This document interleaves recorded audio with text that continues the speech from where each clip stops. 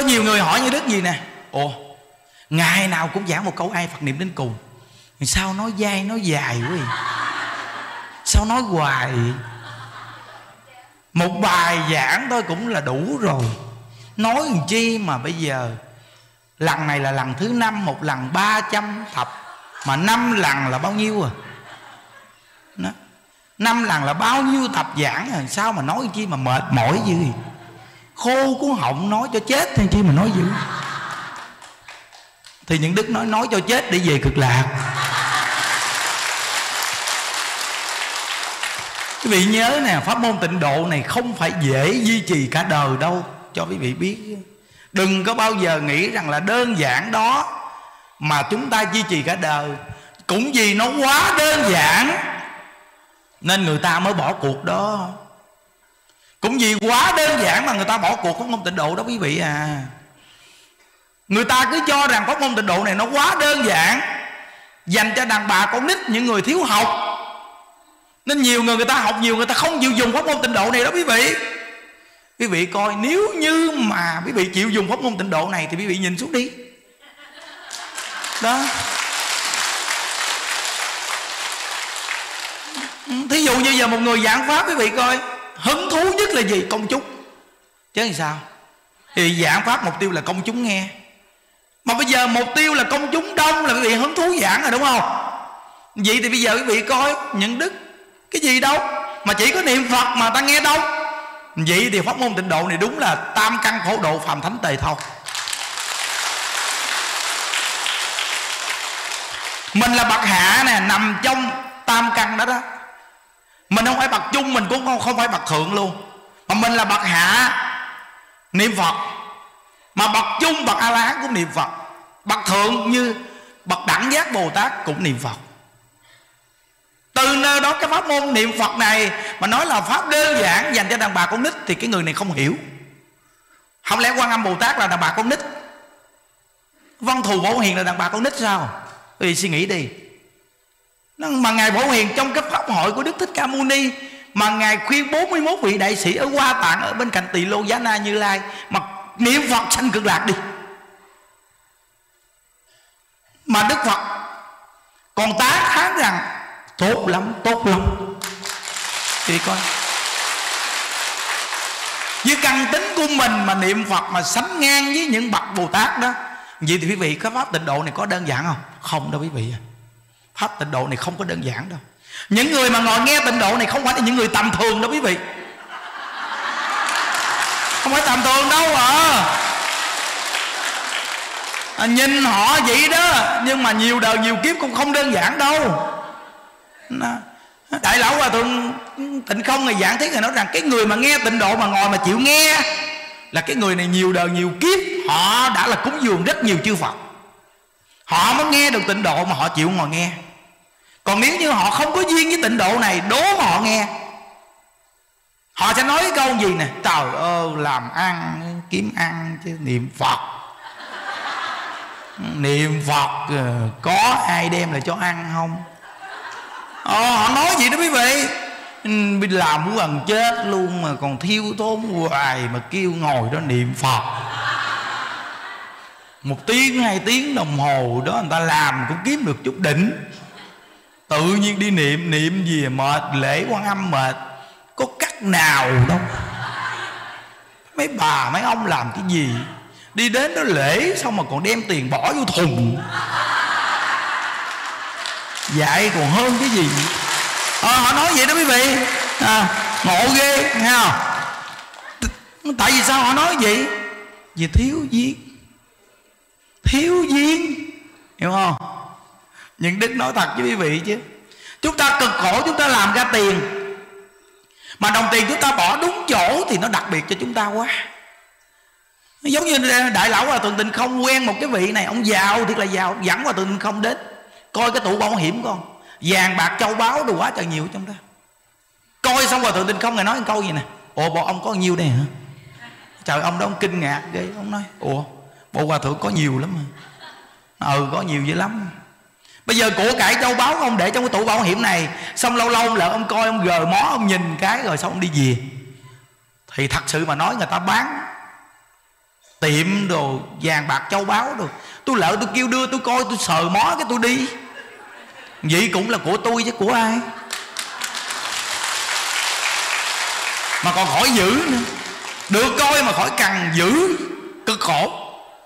Và tôi tin không, ngài nói, thiệt là khờ hết chỗ nói cái này là cái không cầm theo được. Mà không biết dùng nó để tạo ra cái để cầm theo. Tại sao con người không hiểu? À, mình cứ nghĩ rằng của cái này là của mình, bỏ ra là mắc. Bỏ đúng chỗ, nó không mắc. Mà càng bỏ ra nó càng nhiều. Chính cuộc đời của người của những đức này, ngoài đời làm được cái gì quý vị? Cứ cái mộng làm giàu, ngủ cũng ngáp, cái muốn làm giàu. Giật mình thức dậy là kẻ cơ hàng ghê không? Là kẻ cơ hàng mà lúc nào cũng nghĩ mình giàu. Trời ơi cái danh này nè quý vị ơi không biết nhiều người có bị giống như đức hay không? Cứ nghèo mà cho mình giàu không à?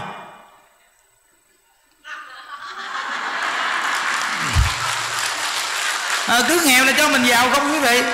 Mỗi năm cứ tới tết là gì? Mượn thì mấy tháng lương gì ăn tết. Ra mua mấy cái bộ đồ sida đồ nhái mua ở đâu dài nhé, mang chừng từng lễ ăn tết được rồi. Cũng giống hệt dài xịn như đó. Nghèo mà xạo. Mang dài đồ vô bận đồ đồ xịn sò vô. Dài thì tự lao đi. Ra ngoài kêu đánh dài. Làm vô ông chủ vậy đó.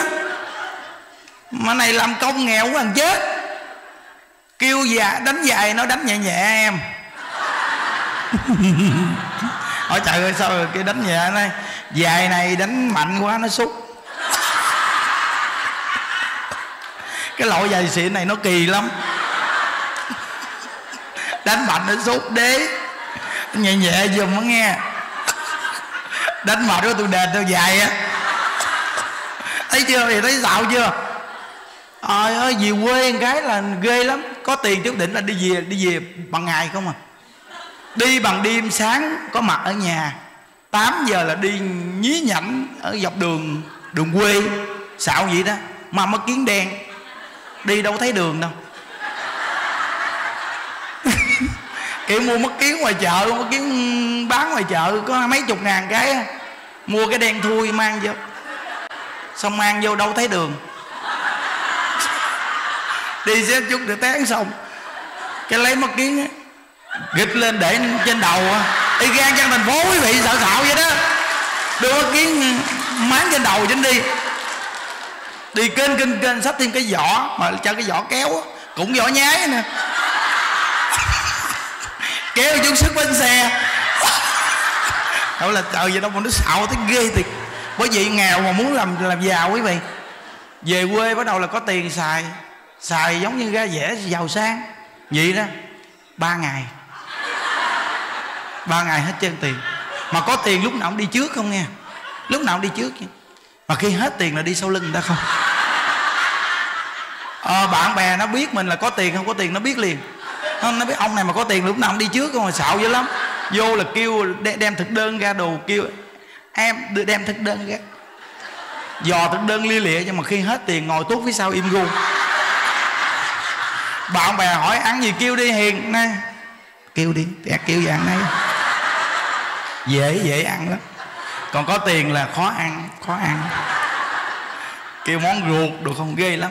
Ba ngày sau hết tiền. Lại vì biết đi về, đi giờ nào, đi buổi tối. Có tiền thì đi, làm sao mà sáng phải có mặt. Về tới nhà, để cho nhiều người thấy. Nhưng khi hết tiền là đi bằng đêm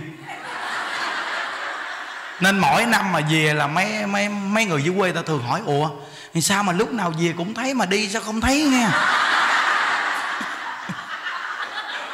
Thì lúc đó những đức nói, người này là ẩn hiện bất thường. Có tiền là hiện mà không có tiền thì nứt. Thấy không? ghê thì cái đi bằng đêm quý vị. Mà mà mà đi lên thành phố lại là như ăn mày vậy đó. Mà đi về quê, lúc về quê thì giống như là là là ông về kiều về quê vậy đó nhưng mà lên thành phố lại là lúc nào cũng giống hệt ăn mày. Dài thì sức cái đế. Mua đôi dép lào, mười mấy ngàn mang đi nè. Bạn quần thì bạn quần đùi.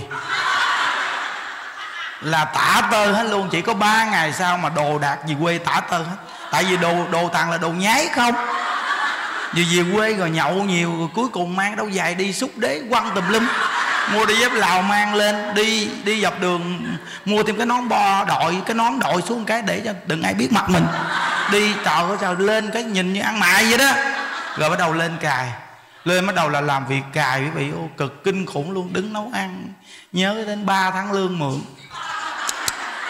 Xài có mấy ngày mà hết 3 tháng lương, bây giờ lên đứng nấu ăn trời là trời mệt quá trời mệt, bây giờ tôi ngán quá. Đây là rất nhiều người trong cái cuộc đời này bị phải luôn đó, quý vị nhất là những ngày lễ đồ. Trời ơi, những đức nói, mà mai mốt mà lễ nghỉ 5 ngày đi, nhiều người xài mấy tháng lương đó. Vì chờ xem nè, bắt đầu là như những đức hồi đó mà nói là lễ một cái là như đức chuẩn bị liền. Những đức dò lịch lễ hôm nay nghỉ mấy ngày là như đức chuẩn bị liền. Thấy không? Điện thoại bạn bè đồ nghe chuẩn bị nghe, chừng hai ngày thôi là xài mấy tháng lương liền. Về làm làm có nổi, vì làm mệt lắm, săn si ghê lắm, săn si kinh khủng luôn, tức lắm nó trời biết gì đừng đi chơi. Toàn là nói gì không à. Cứ là xài hết tiền là biết gì đừng đi chơi. Đó thấy không? Nên những đức nói rằng là sau này mình biết tu đúng là hay quá trời luôn. Bây giờ mai mốt lễ 5 ngày nghỉ này vô đây tu đi. À, vô đây hết đi. Những đứa nói với vị mà vô đây đúng là vị đúng là người đại phước báo đại trí tuệ luôn. Không tốn tiền mà lại còn an lạc còn vui nữa. Những đứa nói với vị quý vị đi chơi 5 ngày về cái mặt hớp liền à, những đức nói mà mỗi lần nghỉ lễ là ngày xưa ngoài đời là về ốm nhôm luôn. Đi chơi mà ăn nhậu rồi ốm nhôm tốn tiền. Mà đi vô đây 5 ngày những đức nói quý vị về cái mặt toàn do liền. Ừ tại vì vô đây nó, nó, nó giống như bơm hơi vậy. Mình an lạc là bơm hơi chứ gì. Quý vị coi như hồi tối quý vị thấy rồi mà mình lễ quan âm gì hồi tối cũng đâu ngủ nhiều đâu. Mà xong nhìn mặt ai cũng đẹp quá đó là vì sao? Vì mình vui. Mà còn được quay phim nữa chứ. Bây giờ những đức nói nhiều cô phật tử gì nổi tiếng. Nhất là cái nhóm ngồi đầu nổi tiếng vậy lắm. Tại vì sao? Vì khuyên ảnh nó quay quá trời quay quý vị. Bây giờ sau này mà mấy bà mà đăng tò thiết pháp là người ta nghe liền. Tại vì duyên nó, nó nổi tiếng quá rồi biết chưa? Nó bây giờ đi tới đây là mấy chú kìa cũng gà gà gà quay phim kìa quay quá trời quay thế nó ai ngồi cũng quay nó vậy mà về làm phim lụm lặt lụm lặt từng cái đoạn phim quay đó đó ghép ghép ghép ghép ghép ghép ghép ghép ghép ghép ghép ghép nên mới vô có vài bản nhạc cái là mình thấy hình ảnh của mình nghe, phim ảnh cũng thu hút lắm vẫn đâu đó nên từ nơi đó mà vì sao đi đến đây mà ngồi nhất là mỗi tuần chủ nhật những đức nói rằng quý vị nên phát động cái chương trình mỗi tuần chủ nhật bây giờ thứ bảy tu bên chùa mới cộng tu đúng không phát động cái chương trình bây giờ về nổi lên làm trưởng đoàn nổi lên làm trưởng đoàn. Những đức nói cho quý vị nghe nghe làm trưởng đoàn có khó đâu. Chỉ cần quý vị, đầu tiên quý vị phải đầu tư. Đầu tiên phải đầu tư. Muốn làm trưởng đoàn mà mau lên nhất là phải đầu tư, đầu tiên. Đầu tiên là tiền đâu.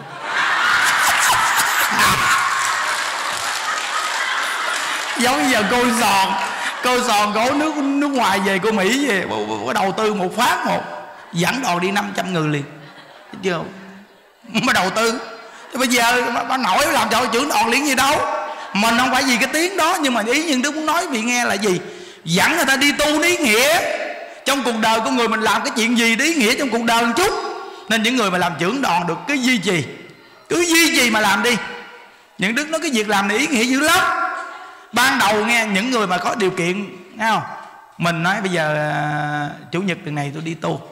Bây giờ tôi báo cho vài chị ở sớm. Lựa mấy cái bà lanh á.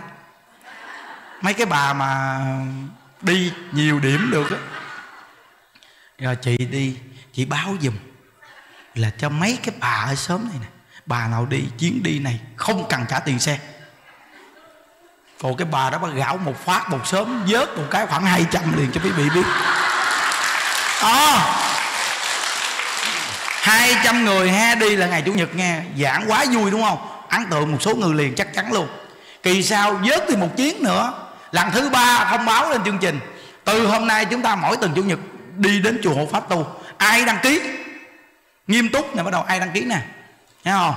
Bắt đầu là tính bây giờ chúng ta ai cũng là người đi tu bắt đầu đi đến đây nghe những đức giảng liền, bắt đầu gặp những đức, trưởng đoàn gặp những đức nói, thầy thầy thầy giảng buổi giảng về cái việc mà bao tiền xe như thế nào. Hiểu chưa?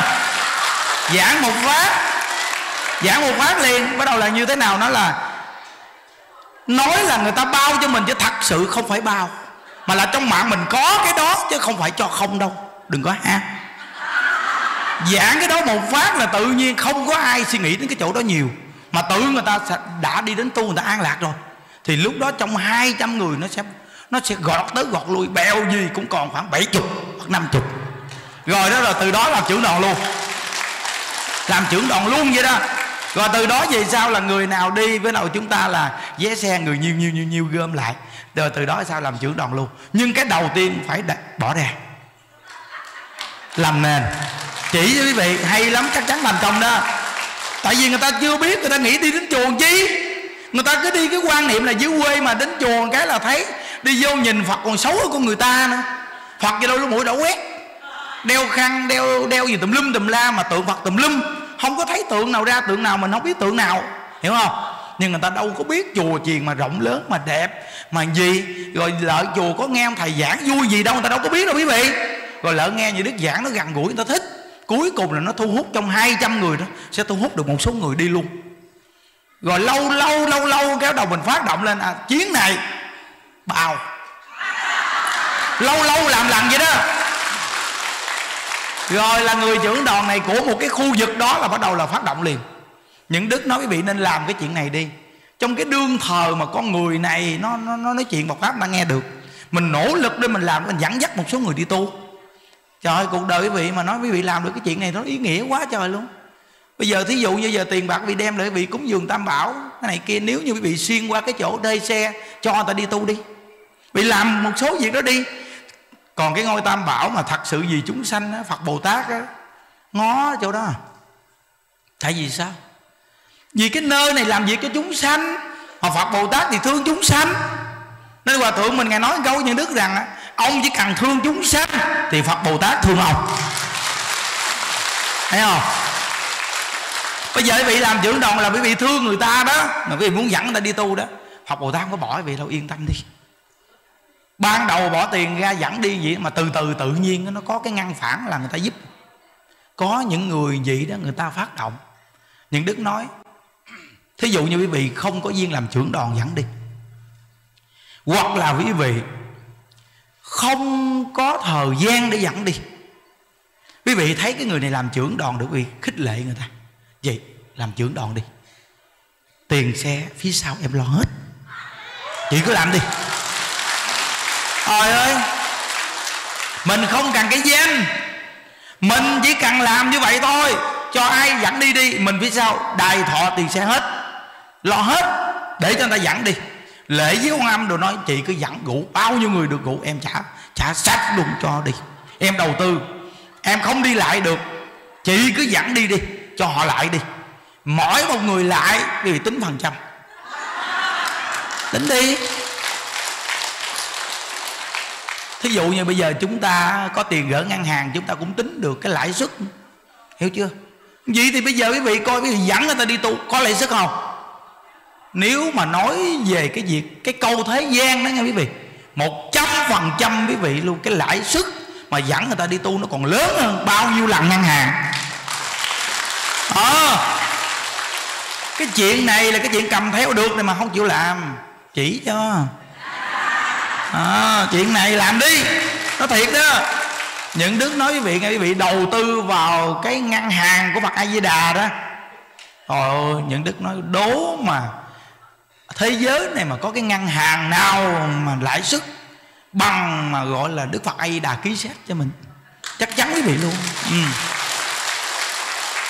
chính bản thân những đức là thấy rõ ràng nè, mà những đức là không có vốn đầu tư nghe. Những đức là không có vốn đầu tư với phật a di đà đó. Từ khi gặp tịnh độ là những đức không có vốn đầu tư. Cái vốn của những đức là tin câu phật hiệu thôi. Bao nhiêu thôi. Rồi những đức niệm phật thôi. Rồi những đức nhiệt tình phát tâm nuôi người già thôi những đức chỉ bỏ công ra thôi. Ít có cái cái đầu tư nào mà nói là bỏ công không lắm quý vị à đều là phải có tiền và bỏ công nữa. Thì mới đầu tư được với cái cái công ty người ta. Thấy không? Cái cổ phần của mình tính vào đó. Rồi ai cổ phần lớn nhất thì đứng vị trí cao nhất. Nhưng mà bây giờ kết hợp với Phật A Di Đà chỉ cần quý vị bỏ công ra. Như vậy mà ngài dẫn cho quý vị vào cổ phần luôn. Đặc biệt chưa? Quá tuyệt vời. Thấy không? Đây nè, một con người này như vậy nè, ngày xưa một mình lo không xong nè. Mà bây giờ mà quý vị coi cái điều kiện mà nuôi hơn một ngàn người thì nghĩ sao? Phải là đầu tư ngay cái cái ngân hàng Phật A Di Đà. Lãi suất cao không? Quá cao. Quá cao rồi. Đúng không? Nên quý vị dẫn người ta đi tu là quý vị đang đầu tư vào ngân hàng Phật A Di Đà đó. Mà cái ngân hàng này mới là cái ngân hàng trí tuệ. Cái ngân hàng này trí tuệ nè tuy là trước mắt mình không phải là mình gom tiền, nhưng mà mình lại gom công đức phước duyên. Mà cuối cuộc đời mình nhờ công đức phước duyên này, mà nó giúp cho mình sáng suốt. Quý vị nhớ cả đời mình niệm phật là cả đời mình đang tích lũy cái năng lượng. Người niệm phật là người đang tích lũy cái nguồn năng lượng để cuối cuộc đời dùng cái năng lượng này để mà mình sáng suốt niệm câu Phật hiệu để được Phật A Di Đà tiếp dẫn giảng sanh cái năng lượng này thù thắng lắm. Bây giờ nhiều, người chúng ta trong đây lớn tuổi này quý vị hãy bình tĩnh suy nghĩ lại đi.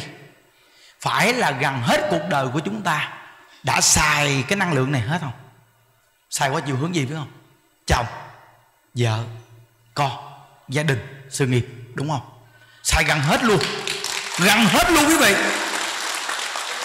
Có những người già khi mà tuổi già mà mê luôn lú lẳng luôn bắt giỡn luôn là gì? Hư bình. Bình bị hư. Thí dụ như bây giờ, cái bình xe của mình, hết bình. Mà cái bình xe này, nó vẫn còn giữ được. Thấy không? Mình lỡ mình kêu người ta sạc vô giùm. Được, sạc vô. Nó có điện nữa, đúng không? Nhưng mà cái bình của quý vị xài mấy chục năm, bình này rơ hư. À. đem lại sạc vào. Thì cái người ta nói rằng bình hư, sạc không có giữ điện được nữa. Thì sao? Bình hư. Thì vị coi bây giờ điện đủ nè, đèn sáng đúng không? Mà điện yếu thì đèn nó giật giật, đúng không? Mà cúp điện tắt thì bây giờ điện của mình nó không còn bao nhiêu nữa chứ. Thì sao?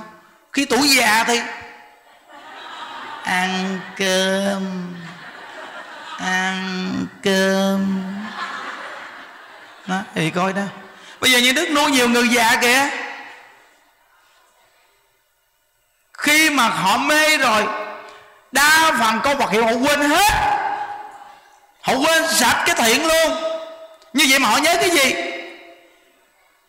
Con ơi, con con ơi, con leo đi đâu vậy con? Mới làm gì đó? Tự nhiên đang đứng gì nhìn lên. Con sao leo lên cao vậy té? Bây giờ xuống đi con. Không? thì quý vị biết rằng cái chủng tử nào mạnh nhất thì nó sẽ phát ra chủng tử đó trước nhất. Rồi ái nhiễm mà dính mắt luôn thì tự nhiên ba ba, sao ba đứng đó gì ba? Bên kinh kia có bà tâm kìa. Ba. Ba chủ nhật như đức chuẩn bị đi qua đây, gặp như đức chặn đầu xe lại. Cho lên xe đi kiếm ba tôi coi. Cho lên xe đi kiếm ba tôi coi. Mắt gì nè? Khi mà hết năng lượng ở mắt mình gì nè quý vị? Cho tôi kiếm ba coi. Kiếm ba coi mặt ngu đúng không? Hết năng lượng. Còn có người mình có năng lượng thì sao? Có năng lượng nó chết chết, đúng chưa? Đầu óc nó có một cái định hình rõ ràng, đúng không? Nhưng khi con người hết năng lượng là nó cuồng chí liền. Vì thấy nhiều người mà tuổi già, khờ, hết biết gì, lú lẳng. Thì biết không? Đi phân ra chưa kịp thay tả bóp phân cái tả gì ở trong, nhét vô bắt đầu, đưa cái tay vô. Đưa cái tay vô bắt đầu là ấy phân ra, bỏ vô miệng ăn. Kinh khủng chưa? Quý vị chờ tới ngày đó hả? Vì chờ tới cái ngày đó ai cứu mình? Phật sống xuống giờ cứu mình cũng không được. Vì sao? Thì những đức nói cái bình sạc vô không được. Sao mà giúp đấy? Bây giờ mình còn may mắn là còn ngồi đây nè. Còn nghe gì nè? Nên cái cơ hội bây giờ mà không chịu lo tu mà là từ từ. Từ từ lấy rai. À, từ từ lấy rai đi. Rồi đến lúc bà bà. À, từ từ lấy rai đi rồi tới ngày đó đó. Trời ở đây ta nuôi bao nhiêu bà già đây mà tôi không biết sao chàng. Vì đi qua hộ pháp đi vô phòng hộ niệm đi rồi ở, ở, ở đại tùng lâm phía sau kìa. Nè sau nhà ăn á mấy chục bà già yếu ăn cơm ngoài đó ra ngoài thăm đi. Có đúng một cô một trăm mấy chục bà già. Thì ra vì sao có cái cái nhà ăn vì ăn cơm đó sau lưng á sau lưng nhà ăn á có một cái đường luồn. Mấy bà già nó ngồi đó già yếu mấy chục. Khu đó khu cái cụ yếu đó. Bởi vì lợ có nhiều bà nằm đó. Thấy không? Phía sau này vòng hộ niệm cũng mấy bà nè đó. rồi ngoài bảo tháp, ngoài một số ông già yếu. Rồi qua hộ pháp khu hộ niệm nguyên khu đó, mấy chục người yếu đó. Thì coi đi. Mình đi đến đâu gì nó đi một ngày đàn học một sàn khôn. Mình đi đến đâu cái mình cũng coi cái nơi đó nuôi người già sao? Để cho mình nhìn nhận một đời người quý vị ơi. Đừng có để một đời người lún qua uổng lắm. Những đức thấy rồi quý vị à. Cứ lo cho gia đình người cuối cùng đến khi bản thân mình mà gặp sự cố gì những đức thấy, đúng là nó trả lại cho mình, đúng là những cái nghiệt ngã của cõi đời quý vị. Chứ nó không có cái gì mà thấy đặc biệt quá chứ. Đa phần chúng ta, phần nhiều là gì? Vì chồng, vì vợ, vì con tôi là vấn đề lớn nhất của cuộc đời tôi cha mẹ có thể tạo bao nhiêu cái nghiệp chướng để vì con của mình, mong cho con mình sống đầy đủ một chút. Chỉ nghĩ là bản thân mình ngày xưa khổ quá bây giờ con mình mình thương quá mong con của mình nó đừng có khổ như mình. Mà nghĩ như vậy rồi làm bao nhiêu việc? Làm bao nhiêu chuyện để mà gọi là lợi ích hiểu không? Nên từ nơi đó mà hãy bình tĩnh suy nghĩ lại. Nếu như bản thân mình mà không Phật pháp, gặp Phật pháp thì cũng như giống hệt như là chúng ta cùng nhảy xuống biển nghe thương nhau nắm tay nhau nhảy xuống biển. Rồi chìm lượt luôn. Chấm chấm chấm. Cuối cùng cũng buông tay theo cái nghiệp duyên dẫn dắt. Ồ, cái cảm giác này đúng là phải suy nghĩ lại quý vị. Suy nghĩ lại một đời người quý vị. Những đức nó thật sự, mười mấy năm nay đi tu, về cái sống mà vô thường, những đức nhìn sâu rộng lắm. Năm năm ngày xưa, những đức trên Đà Lạt quý vị, một tuần lễ mắc lúc nào cũng bảy tám người già, một tuần. Một ngày có khi mắc hai bà, có lần mắc ba bà nên những đức ngày xưa trên đó, những đức thiết kế cái xe tải, chở một lần được ba cái quan tài. Xe tải. Tại vì một lần mà thuê người ta, thì tính ra tới 16 17 triệu tiền này tiền kia. Sau này như đức tính từ từ từ từ từ mua cái xe tải, xong chở luôn. Như chùa mình ở đây, hồi đó cũng vậy một lần cho người ta mà mai táng đồ này kia, chọn gói hết cũng nhiều tiền, mười mấy triệu quý vị sau này những đức ờ, tính ra cái chuyện. Ban đầu thì định mua chiếc xe rồng. Những đức nói chiếc xe rồng thì về thì giống như trong chùa chờ người chết. Nhớ không? Nên cuối cùng những đức mua xe lam. Mua xe lam xong những đức gắn tượng phật đồ gắn hình, tranh, thánh chúng vô. Lúc mà có người chết thì gắn vô. Mà chở đi xong rồi đi về thì tháo ra. Xong chạy bình thường. Nên cái xe đó sử dụng thường xuyên luôn. Nó không có nằm ngủ. Đó thì vị biết rằng là bây giờ chùa mình chọn gói. Chùa để số quan tài để sẵn. Ai thích nằm cho qua bên nằm chết mười chín buổi sáng sớm qua, tôi để hàng mấy chục cái, thay phiên nhau vô nằm thử. Nằm thử để nhắc nhở mình, nhắc nhở đời người vậy ơi chạy có nhanh cỡ nào, chạy cũng không khỏi quan tài. Đất đai, cò bay thẳng cánh, nhà cửa nhiều. Nhưng cuối cùng chạy quá trời luôn. Bao nhiêu sự tranh giành hơn thua làm ăn, kinh doanh. Muốn qua mặt người khác, cuối cùng chạy nhanh thấy ghê, chạy vô quan tài nằm trong đó. Những đức nói quý vị biết, quý vị mà tắm người chết rồi quý vị sẽ thấy cái vô thường sâu sắc lắm. Còn sống ai chỉ cần động đến một cái thôi là ẩu ẩu ẩu ẩu ẩu chữ lia chữ lịa người ta lại vậy mà khi chết rồi người ta lặt được, đường nào cũng được. Lặt tới lặt lui. Mà gặp mà chết coi được được thì lặt qua lặt lợi nhìn còn có được. Mà gặp chết mà cái dạng sân si cái dạng cái dạng mà tham chấp nặng thì chết cái mặt nó gì nè? Mình lạc qua cái họ nhìn mình, sao nhìn? Mình lạc lại cái cũng nhìn mình nữa, sao sao nhìn? Có nhiều cô mà tắm xong ba bốn ngày nó mới lấy cái đó ra được tại vì sao? Nhìn hoài. Mắt làm nè. Kỳ cục cái này còn sống làm cỡ nào cũng không đáng sợ bằng. Mà khi chết mà gọi là cái mùi tử khí nữa suy nghĩ đi. Mà mấy cô vô tắm. Nào tắm xong mà lạc lạc quan cái có khi gặp mà những người mà bệnh mà bụng bự mà mình lạc quan cái gì nè? Nước chảy ra lặt lớn. À, nước chảy kia mắt mũi miệng gì? Lúc còn sống gì quý vị thấy không? Mặt hoa da phấn đúng không? Nhưng mà khi chết rồi thương nổi không? Thương nổi không? Nó, tình thương quý vị coi thế gian này chưa chết thôi. Chồng mình nó vừa nghe mình bị ung thư thôi. Ung thư đó, gì đó.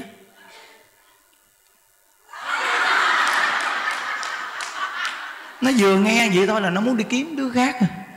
đúng không? Có những cái tình cảm không phải ai cũng vậy nhưng mà có khi mình gặp sự cố trong cuộc đời những đức gặp này trong chùa gặp hoài nè. Gặp có những cô đến khóc lóc nó chờ thầy ơi lúc còn sống vợ chồng với nhau lúc còn mà đương thờ vợ chồng lo làm ăn rồi lúc đương thờ trời ơi thấy anh thương con ghê. Mà vừa con nghe nghe nói con bị bệnh cái tự nhiên giờ anh lạc lẽo con thầy ơi rồi cuối cùng bây giờ anh đi sớm về muộn con buồn khổ quá thấy chứ nên thôi cuộc đời của người chúng ta gặp Phật pháp đó là điểm điểm, điểm nương tựa đẹp nhất cuộc đời nha có gặp sự cố gì đi chăng nữa mình cũng còn Phật pháp. Tại sao mình không có cái cái cái cái cái, cái con đường hậu? Đúng là con đường đường chính chứ không phải đường hậu đâu quý vị đường chính. Phật pháp là đường chính đó quý vị ơi.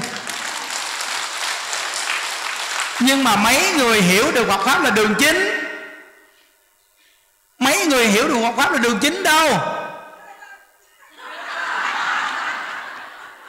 Ai ai nghĩ Phật pháp là đường chính? Đưa tay lên coi. Chúc mừng quý vị. Quá thông minh. Thấy không? Trong cái cuộc đời này chúng ta có thể mắc sạch mắt và buông xuống hết được. Nhưng chỉ có đúng một thứ mà nhất định đời này của chúng ta không buông, đó là Phật pháp. Vì sao? Phật pháp cứu đời ta mà. Phật pháp là cứu đời những đức thiệt luôn này riêng bản thân những niệm đức là được Phật pháp cứu đời mình nè. Bởi vì cái cái sự mà cảm ơn đó phải làm lại cái gì đối với Phật pháp? Bởi vì có nhiều Phật tử nói, bộ thầy không sợ chết hay sao chết có gì đâu sợ. Những đức ta thấy nhiều cái chết là có gì đâu mà sợ chết. Thật sự với nói quý vị, đừng bao giờ có một cái cảm giác chết là đáng sợ. Nó không có đáng sợ như quý vị nghĩ đâu.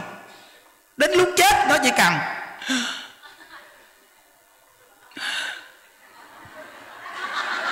chết queo ở gì đâu mà sợ. Đó là cái chết không tốt đó. Còn cái chết tốt của người niệm phật mình là sao? A di đà phật. A di đà phật. A di đà phật.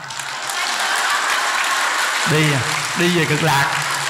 Vị nhớ, cái người mà niệm phật mà nếu thật sự mà giảng sanh là chắc chắn là cái người này không phải chết mới đi mà là lúc còn sống, phật rước.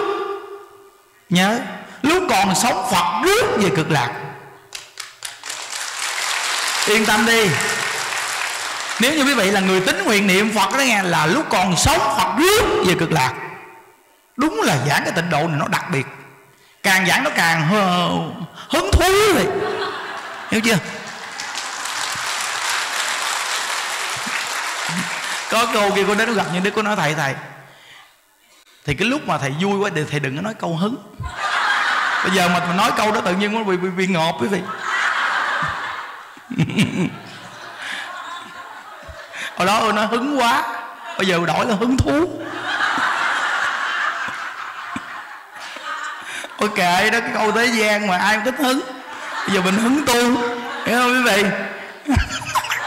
Hồi xưa ngoài đầu mình hứng đi chơi giờ mình hứng tu.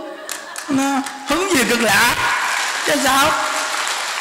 Nó nên từ nơi đó quý vị thấy không? Ai cũng sẽ chết. Cái câu chết cần phải thường nghe. Để chi? Nhắc mình. Hiền. Hiền đi. Sắp chết rồi, hiền đi. Đúng không?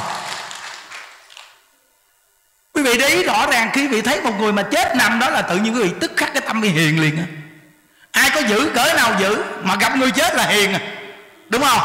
Nhưng mà qua rồi giữ. Tại vì sao? Vì họ không có một cái pháp tu. Họ không có một pháp tu nên họ bị lạc đi. Cái tâm họ chết. Thí dụ như một người hung dữ cỡ nào mà sắp sửa chết vì thấy họ rất hiền. Cực kỳ hiền luôn, tội nghiệp lắm.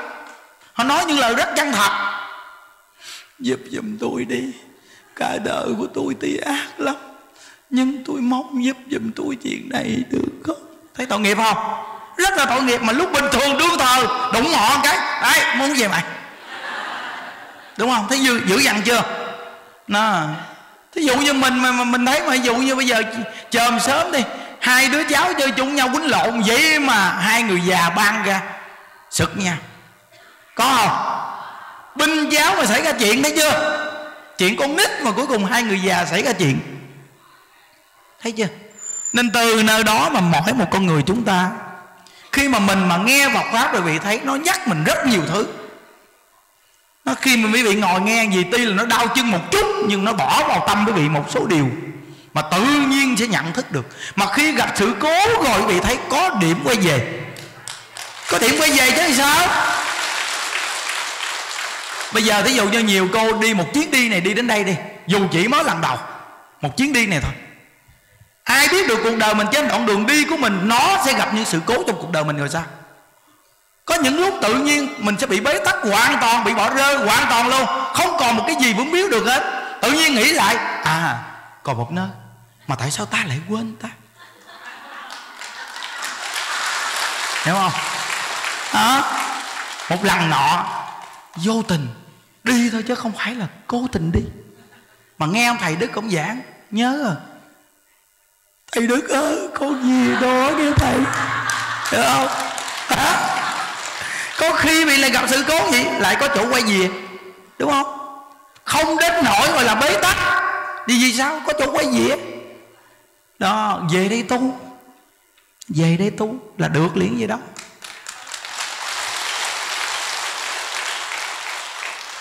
Nó có một cái chú này, ông tên cùng. Xong ông hỏi những đức? Thầy cho con cái pháp danh. Nhưng đức nói, họ đặt ông tên khai. Ông nói, ủa, sao kỳ sao con tên cùng thầy đặt tên khai là sao? Nhưng đức nói, cùng đường khai ngộ. Hiểu chưa? Ông tới cùng đường, bây giờ khai ngộ với sao giờ? Nên quý vị nhớ nè, có những khi chúng ta còn đầy đủ chưa khai ngộ, nhưng cùng đường lại khai ngộ nhớ nghe. Có khi chồng thương rất là nhiều, chưa khai ngộ.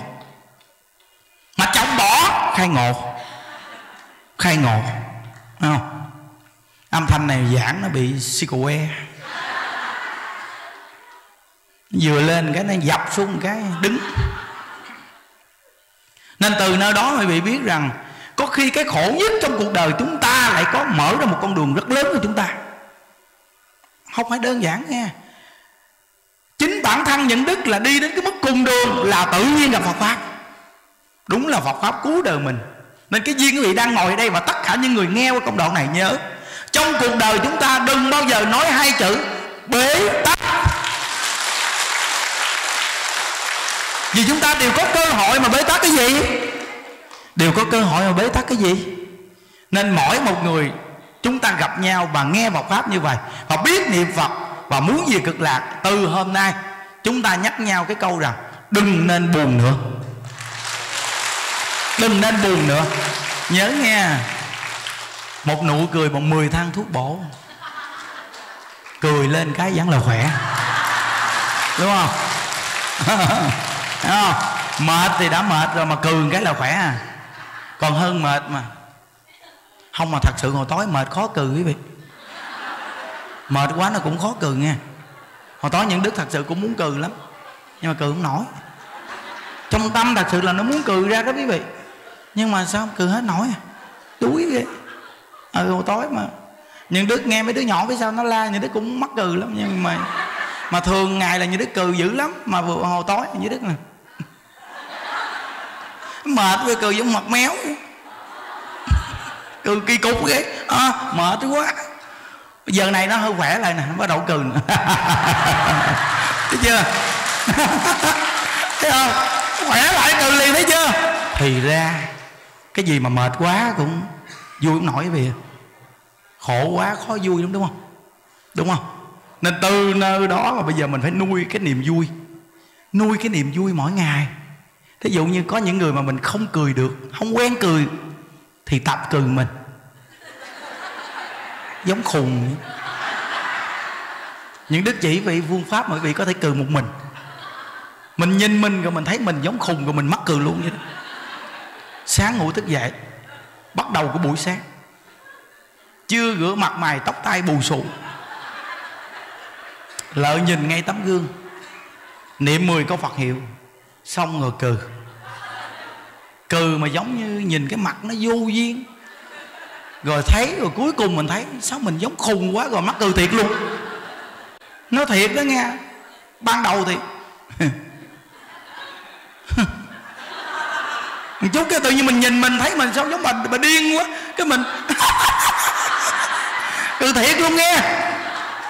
Đó là quý vị biết là cái cái cái tần số đó tự nhiên nó phát lên liền. Niềm vui á.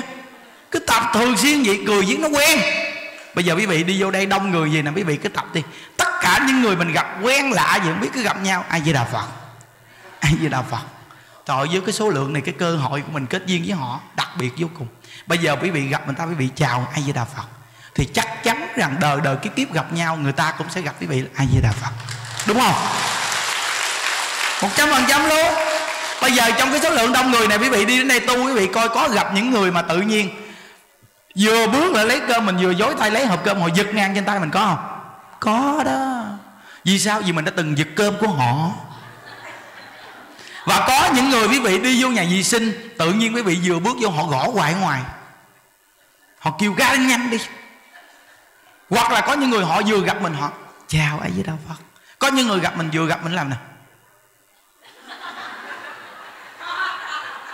Trong bụng mình nói chợ là chợ cái thứ mà nó vô duyên cái chợ đâu có quen biết gì đâu mà làm như là ăn hết của cải gì tự nhiên nghinh bật tôi kỳ chợ.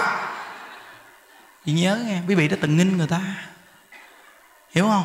Tất cả những cái quả báo, cái nhân gì đã tạo trong cuộc đời là nhất định sẽ thành cái quả đó. Quý vị chỉ cần giật đâu dép của ai, quý vị chỉ cần chữ ai, quý vị chỉ cần nói ai một tiếng gì thôi là cái quả báo nhất định một đời kiếp nào, họ sẽ trả ra cho quý vị y gan. Không có khác đâu. Đó. Hiểu không? Nên á, có những người hỏi, vậy thì giờ con muốn nghe pháp mà con con con con giật chỗ ngồi sao thầy? Cái này thì thôi. Vì cực lạc tính. Tại bây giờ bây giờ con kiếm cái chỗ nào nghe cho nó ngon ngon chút. Nhưng mà làm sao cho nó nhại nhại là khéo, hiểu không? Là được à. Chứ đừng có quá đáng thôi thấy không? Cứ nghĩa là ví dụ như mình ngồi chỗ đó, xong mình ngồi luôn phước cho rồi. Thì bây giờ ngồi luôn, bây giờ ai mà giật được nữa? Hiểu chưa? Thôi kệ đi, bây giờ trong cái cuộc đời này, mình là phạm phú mà bây giờ mà nói cái chuyện mà bây giờ con mà ngồi xa con ngủ, nghe quá được. Kẹt chẳng đảo quá, thấy không? Còn bây giờ nếu con ngồi trực diện thì được, dễ hơn. Thôi con cũng cố gắng đời này con giảng sanh. Con, tôi mà giảng sanh xong, tôi về tôi trả ơn với tất cả quý vị.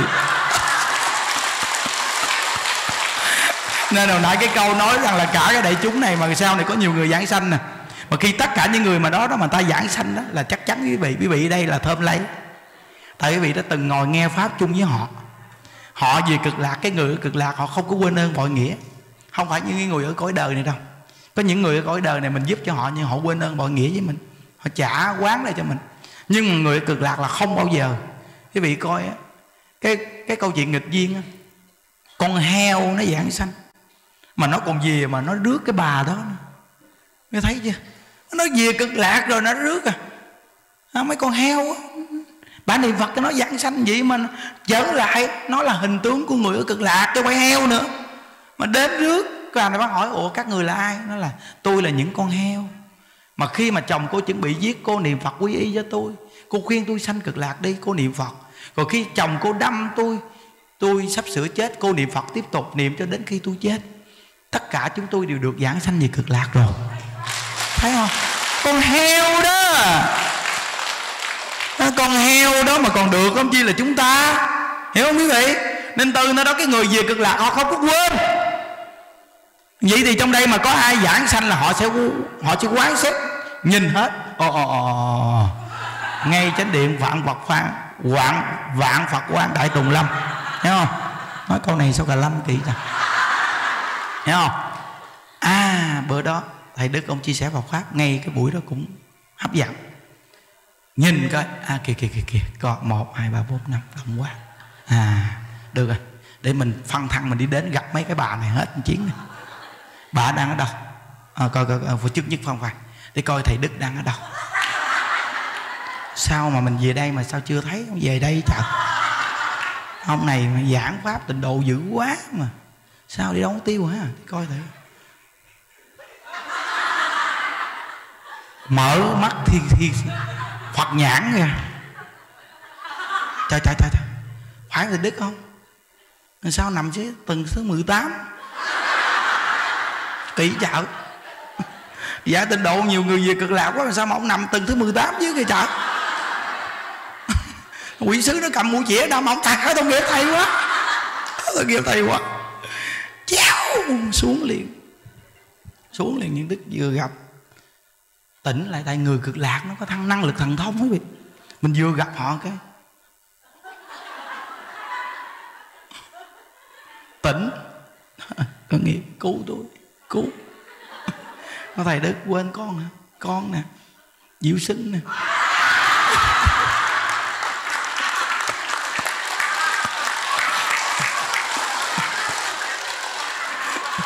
Trời trời, sao mà thầy, sao mà giảng tịnh độ đầm rầm, nhiều người giảng sánh quá. Sao thầy xuống đây thầy? Lúc đó cũng chảnh thay chúng sanh chịu khổ con ơi. Nhưng mà thê thảm quá con ơi. Tao biết vậy tao không dám làm cái trò này đâu. Thà về cực lạc trước đi, muốn thay gì thay hồi đó ta cũng phát nguyện dữ dằn lắm con. Thay chúng sanh chịu khổ, làm nhiều việc tưởng nó phi thường lắm nhưng mà cuối cùng rớt xuống đây luôn. Không nguy hiểm lắm nghe quý vị không đơn giản đó nghe. Giống như những đức biết một cái vị này ông nói những đức một câu. Tối ngày ông cứ niệm phật giảng sanh giảng sanh. Chúng sanh ở cõi ta bà người ta khổ quá trời khổ mà giảng sanh. Ở đây ông giúp người ta đi. Nó cái đó đã chết đó. Đó, đó. tuy là thấy giống như phi thường nhưng mà cuối cùng mà đọ một cái là không phải đơn giản. Địa tạng vương bồ tát ngày xuống dưới địa ngục ngày độ chúng sanh là ngài là đẳng giác bồ tát là là diệu giác như lai ngài mới làm được. Còn chúng ta là ai mà dám làm điều này? Không có được mình phải về cực lạc cho nó chắc nghe chưa? Nên từ nơi đó mà phải về cực lạc mới được không về cực lạc không có được. Đừng có nói mà thay ai chợ là chợ bây giờ mình mà vô mình nó về cực lạc mình người ta chém mình vài cái cũng không sao. Nhưng mà mình mà còn mang cái thằng máu thịt này người ta quýnh mình một cái là đau muốn chết. Nói lòng săn liền. Thôi cái gì chứ? Cố gắng về cực lạc. Chứ không thôi mà, mà, mà mấy cô nhìn thấy ở dưới địa ngục thứ 18 tám lăn lóc với quỷ sứ nó cầm mũi chỉ nó chọt. Chọt chọt chọt chọt lúc đó sợ đau. Khổ thầy quá, khổ ơi, cứu thầy. Không, nhưng mà như vậy đó, mà mình giúp mọi gì cực lạc họ sẽ trở lại độ mình đó, quý vị. Không có bỏ mình đâu, nhưng mà mình cũng thê thảm lắm. Te tu hết chứ, thôi thôi. Tu gì trước chắc ăn mọi người chúng ta đến đây à, ai cũng có cái khổ chứ. Ừ. Nên mình đang ngồi ở đây đi, rồi hoặc là phật tử khắp nơi nơi đang coi qua chương trình này. À, chúng ta có cách gì để giúp nhau hết khổ hay không? Ừ. giống như à, cái câu chuyện mà bà cụ mà bà bán khổ à, khổ quá có gia đình rồi sau này chồng mất sớm có người con trai à, mong rằng nuôi con trai lớn lên nó cũng giúp đỡ mình. Nhưng không ngờ con trai nó lại ngỗ nghịch bất hiếu và cụ đến than với thầy. À, thầy ơi con khổ quá. Ông thầy ông nói một câu à, sao bà không bán khổ đi? Thì bà cụ này bà nói à, à, à, của quý báu còn bán được chứ giờ mà khổ ai mà mua mà bán thầy? Xong thầy ông nói rằng thầy chỉ vào một phương pháp bán khổ. Từ hôm nay bà đừng có nhớ cái khổ đó nữa mà bà nên chuyển qua nhớ ai với đạo phật thì bà hết khổ. À, bà cụ này rất là có thiện căn quý vị. Khi bà nghe vậy rồi thì bà nghe lời thầy bà niệm phật.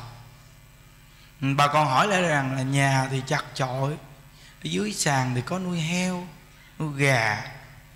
À, bằng thờ thì nhiều quá. Vậy thì con có niệm phật được không? Thầy ông nói không sao cứ niệm phật. Bà cứ đi đứng nằm ngồi bà cứ chân thật niệm phật. Phát nguyện cầu sanh cực lạc. Cứ từ hôm nay nhớ phật là được rồi. Vậy mà bà già bà biết nghe lời từ đó về sau bà cứ niệm phật. Cuối cùng à, bà biết ngày giờ giảng sanh. À, bà nói với người con trai của bà con ơi mẹ ba ngày nữa mẹ đi về thế giới cực lạc rồi. Nên à, Ờ, con ngày đó ngày đó vì con ở lại nhà lo hậu sự cho mẹ cũng như là tròn cái bổn phận làm con. Thì ờ, con trai quay lại nói rằng, bà niệm phật giết thì chắc bà ba trợn. Tự nhiên về cực lạc. Nhưng mà tới ngày thứ ba thì nó nghe mùi thơm lạ lắm. Mà mùi thơm này từ xưa tới giờ nó chưa từng nghe được và ngửi được mùi mùi hương thơm này thì đi vòng vòng vòng vòng kiếm thì nó nghĩ đến cái lời mẹ nó nói rằng ba ngày nữa bà giáng sanh thì bắt đầu nó bước vào nhà nó coi bà cụ thì thấy rằng là bà tắm xong thay đồ xong bà ngồi bà niệm phật rồi bà giảng sanh vậy mà từ đó về sau con của bà niệm phật theo ý được. À. À, nên mỗi một con người mình à, đến thế gian này đều có cái khổ nhưng người nhận thức được cái khổ để buông được còn có những người thì chúng ta cứ mãi lao theo cái khổ, không buông được quý vị. Có những người tuy là sống trong cái khổ, nhưng chúng ta mãi mê trong cái khổ và nghĩ rằng, thôi để thí đại, cho một đời nó đi qua là phương có nghĩa là một đời đi qua phước cho rồi.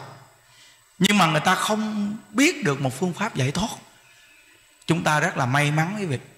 Đó là chúng ta gặp được pháp môn niệm phật. Đây là một cái pháp tu mà chư tổ sư nói rằng nếu như trong thời mạt pháp này mà đức thích ca mâu ni ngài không thuyết cái pháp môn tịnh độ này cho chúng sinh trong thời mạt pháp, thì kể như là tất cả chúng sinh trong thời mạt pháp này đều đọa lạc hết. Không có ai mà có cơ hội đời này được giảng sanh, giải thoát ấy. Chỉ có đúng pháp môn niệm phật này mới giúp cho chúng ta hết khổ. Nên chúng ta đem pháp môn niệm phật này mỗi ngày đều tán thán để cho bản thân mình gầy dựng cái tính tâm tính nguyện cả đời tu và cho những người nghe để họ gầy dựng tính tâm, tính nguyện cả đời họ tu.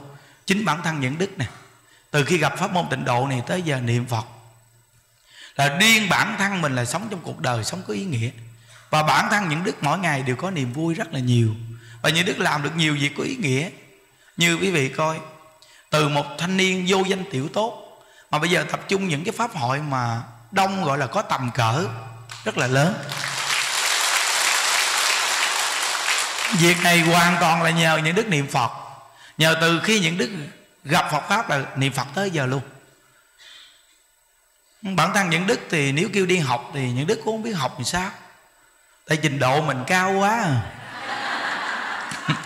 biết học thêm cái gì được đây không biết nữa. hiểu không? Nó, Thế hòa thượng nói là thôi à, để tôi cho ông đi học thêm. Thì những đức nói, trời hòa thượng con học lớp 3 mà vô không biết học làm sao đấy nên từ nơi đó mà mình biết thân phận quý vị. Ví dụ như mình biết cái thân phận mình ít học thôi, mình niệm phật đi. Chiên luôn. Mình chiên niệm phật luôn, biết đâu nó có kết quả sao? Thì rõ ràng mười mấy năm những đức niệm phật là thấy cái kết quả là mình phát ra cái tâm, mình nuôi nhiều người già. Bây giờ nhiều người già về là mình thấy mình mình thích à. là tự nhiên mình nuôi người già. Rồi xong rồi mình lại tổ chức những khóa tu cho người ta tu vì coi những đức không có đi đâu, không biết đâu. Chỉ có niệm phật thôi. Đi đến chùa thì học từ phương pháp, từ cái thiết giảng của thầy. Mình à, thiết giảng theo. Rồi xong phương pháp tu của thầy, mình làm theo. Rồi đem phương pháp đó áp dụng trong những cái nơi mình ở. Tới bây giờ luôn thì những đức thấy rằng là hàng phật tử bây giờ khắp nơi nơi người ta áp dụng phương pháp tu này. Nhà nhà nhiều người ta áp dụng tu được. Mà nhiều người ta gặp những đức người ta mừng lắm ta cảm ơn cảm ơn rằng nhờ nhờ thầy hướng dẫn mà con ở nhà giờ con tu được.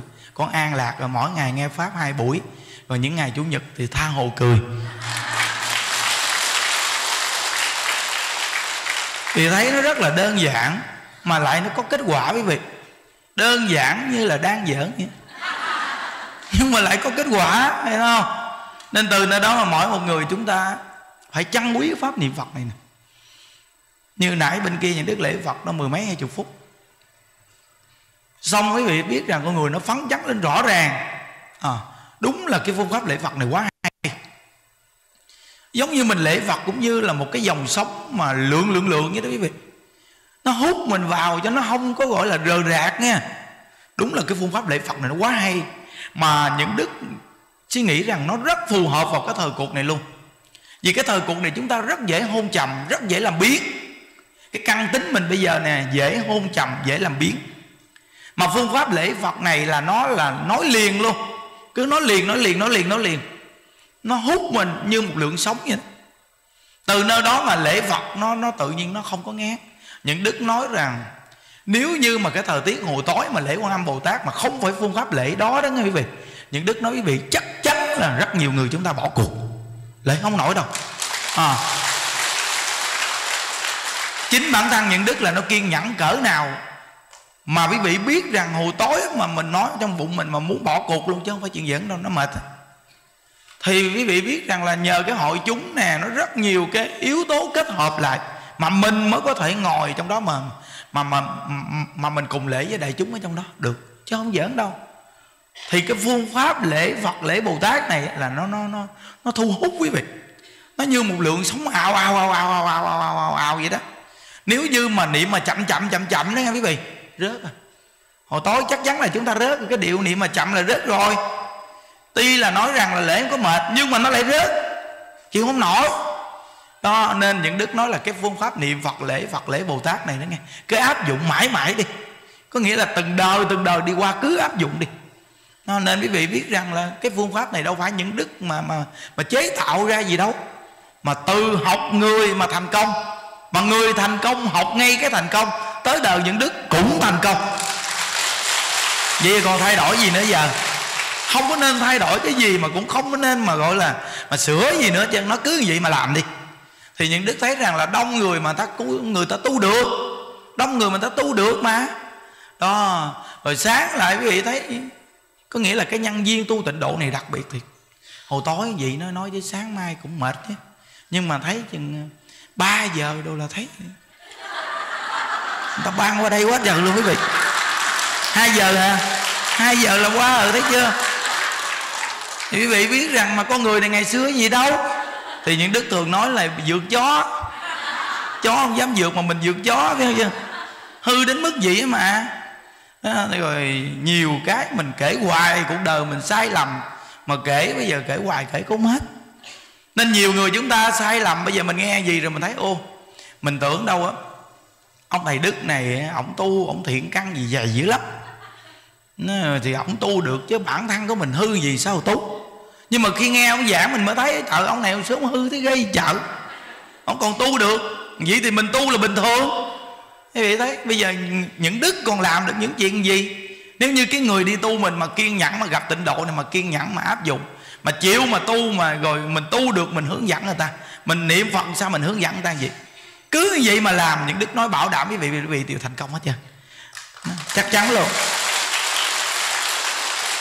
Nó, à, quý thầy quý chú trong chùa mình mà mấy ổng mà cùng đi những đức mà học iran gì mà làm đi. Phải ra nó không có cần đi đâu mà cực khổ gì chứ. Mà thành công nghe. Nó thì quý vị thấy rõ ràng cái hội chúng quý nhìn xuống đi. Người ta đông đừng có nói nữa là cái duyên này từ đâu? Duyên di đà, duyên qua bồ tát. Mà mà tự nhiên duyên qua mình luôn. Rõ ràng, ví dụ như bây giờ mình tán thán một người nổi tiếng đi, mình nổi tiếng ké. Một trăm phần trăm quý vị. Mà mình tán tán ai, còn có tác dụng phụ chứ mình tán tán ai với đạo phật là không bao giờ có tác dụng phụ. Mình tán thán bồ tát quán thế âm là không bao giờ có tác dụng phụ. Một trăm phần trăm luôn. Nếu như mình tán thán di đà, tán thán bồ tát quán thế âm là không có tác dụng phụ ở đâu nhưng mà mình tán thán những vị này là những vị nổi tiếng mà gọi là là tặng hư không khắp pháp giới đều nổi tiếng. Mà mình tán thán họ là mình cũng nổi tiếng ké. Những đức là gọi là ké. Ké. Ngày xưa thì biết rằng là những đức mới xuống đây, những đức có cái suy nghĩ gì nè? Những đức thấy cái phương pháp của thầy trên trển quá nổi tiếng. Thầy quá nổi tiếng vì phương pháp này à. Những đức nói, thôi bây giờ mình dùng phương pháp này đi biết đâu phật tử dũng tàu người ta ghé ngang thì sao? Tại vì người ta không biết mình mà người ta biết pháp tu này. Nó cứ khi người ta ghé ngang, người ta giống giống á gần gần đây người ta đáp ngang luôn. Mình cũng vớt được sốt. Mình nghĩ vậy quý vị. Chứ bây giờ mình không mà tự nhiên ai biết mình, ai tiếp nhận mình. Phải dùng cái phương pháp tu của người nổi tiếng. Hiểu không? Thầy ngày xưa thầy nổi tiếng quá trời. Mình mình mình dựa vào cái hư đó. Mà mình phải làm cho thiệt nghe dựa hơi mà không làm thì cuối cùng cũng bể xô. Mình dựa hơi mình phải làm cho thật thì mình có kết quả. Thì những đức tính nghe vậy đúng là đúng mục tiêu luôn. Cuối cùng như đức áp dụng phương pháp tu này phật tử dũng tàu ban đầu đến có 10 người mười mấy người. Vậy mà ta đồn ra ta nói à, ngày xưa lên trên đà lạt cái cái chùa tỉnh thất quan âm tu đặc biệt. Bây giờ xuống đây ở dưới đây có ngôi chùa cũng tu y ra. Ông thầy ông giảng pháp cũng cũng vui vui vậy đó. Bắt đầu người ta đồn ra từ mười đồn trăm trăm đồn ngàn quý vị mà bây giờ mỗi tuần chủ nhật mỗi tuần bây giờ khoảng hai ngàn người về niệm phật. Chị nghĩ không? Đặc biệt chưa? Nếu mà cái cái cách làm này á, mà người mà ta để ý nghe là tiếp tục ta cứ làm gì đi. Tiếp tục ta cứ làm gì tiếp nói tiếp nói, ta gian rộng ra cái cách này đi. Ồ, chúng sanh nhờ biết nhiều nói. Những đức nói nghe chỉ cần mỗi một địa phương thôi, chỉ cần có ngôi chùa như chùa hộ pháp mình thôi hướng dẫn tu gì mỗi địa phương có ngôi chùa. Chùa thì nhiều nhưng có ngôi chùa chuyên tu vậy rồi, tuần nào chủ nhật cũng hướng dẫn Phật pháp. Rồi cứ thứ bảy dạy lớp đạo làm con. Những đức nói cái lớp đạo làm con đâu có khó gì đâu. Chính bản thân những đức thấy rõ ràng luôn nghề dạy nghề. Dạy viết rồi tự nhiên bây giờ viết mình quen với các cháu nhỏ luôn. Nên như đức đi đâu cái cháu nít nó gặp như đức nó kêu um sùm nhé.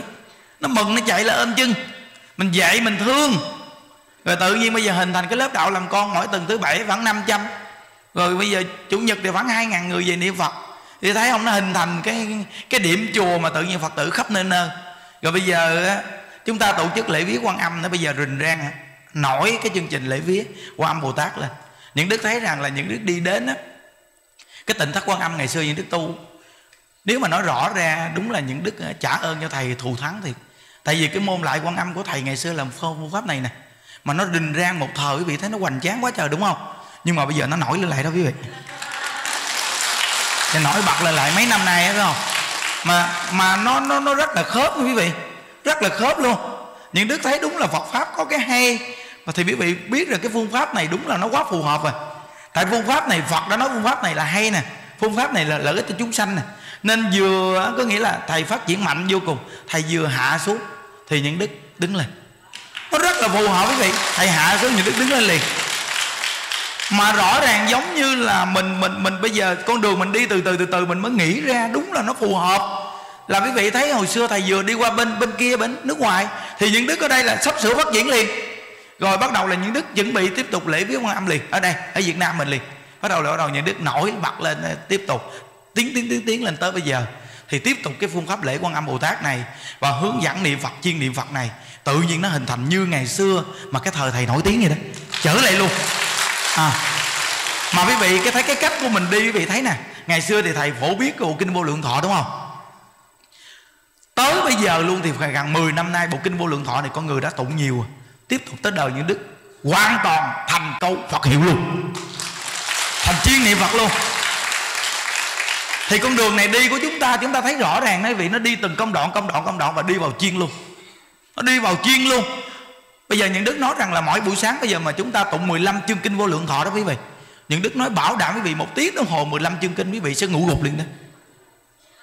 Cái này là khi người ta tụng kinh, những đức cho máy quay phim đi quay hết luôn. Để tổng kết cái số lượng con người tụng được và con người ngủ. Mà chùa mình là chùa mà thức quen đó. Vậy mà buổi sáng còn ngủ gục.